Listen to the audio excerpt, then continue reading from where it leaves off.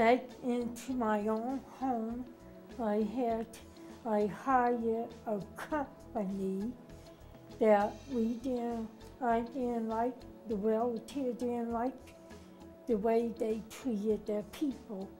Uh, the thing I needed to get people in there that would take care of me, help me, and not want to take do shit they shouldn't do.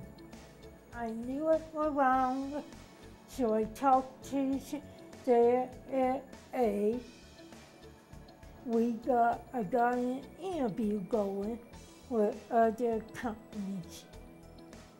And the one with now is the one that we all agree on and I really like. And we didn't change for anything.